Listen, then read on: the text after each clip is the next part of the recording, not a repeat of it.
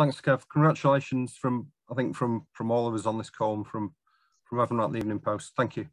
Thank you, Pete. Thank you.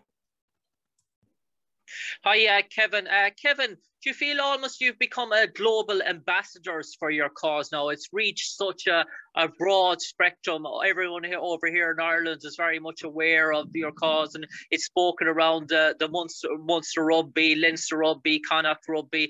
All the all the province in Ireland seem to be aware of what, of what you're doing as well. So, in terms of that global appeal, are you sort of taken back by it? Yeah, massively. I, I think it's really nice um, that you mentioned that. I know um, Munster have had their own challenges um, with MND previously, and um, for people to well to receive messages of support and letters and emails and text messages from all over the world has has been um, really really kind. Um, that obviously has never been the driver, but um, the fact that people are, have a greater awareness and are better educated now, and the reach is going further and, and farther, um, I think that can only be a good thing for for MND, for people with MND, for, for families who have lost people through MND.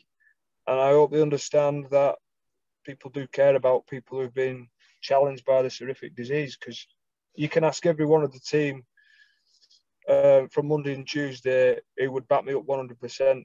They just want to help. It, it's not about, um, no, they just want to help. That, that's it. They want to help.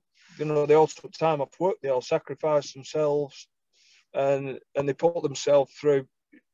You know, forget me and Dave who ran, who, but those on the bikes, those who stayed up for all those hours, doing whatever role they was fulfilling, it was a huge team effort. And you asked anyone, you ask any one of them, would they do it again? And they'd be there in a heartbeat.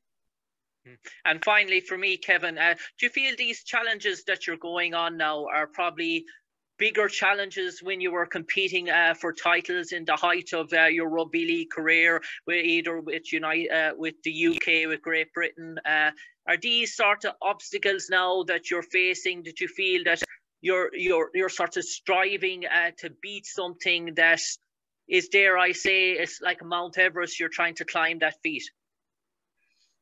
Uh, it's different. it's very different. I think um, whilst whilst you're playing, it's your job, and you can put all that time and effort into your preparation and things away from your training that are really really important. Nutrition, your sleep, your lifestyle are really really important. Um, the difficulty part now is trying to do some of that still, whilst having a full time job. And you know, albeit I'm still in rugby and I'm and I'm coaching now. You still have a very different life to what you would have as a player. So managing the two is is very very different. Um, I love my playing days. Um, I think my playing days absolutely and the experiences I had during my playing days absolutely set me up for the last two challenges. You know, being able to draw on some of those really tough moments as a player have, have helped me get through and, and dig in.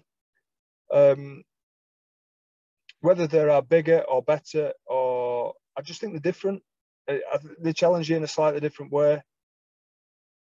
But the one thing I'm really pleased about is being back in the team um, and being back in a team that is facing a difficult challenge and sometimes against the odds and sometimes um, it don't quite work out as you planned, but you just find a way to get it done. And there were a number of finals we played in as a group or test matches where you, you know things don't go to plan, but good teams find a way to win. And and you know, it, was it about winning on Monday and Tuesday? No, it was about completing and raising awareness and raising funds but we found a way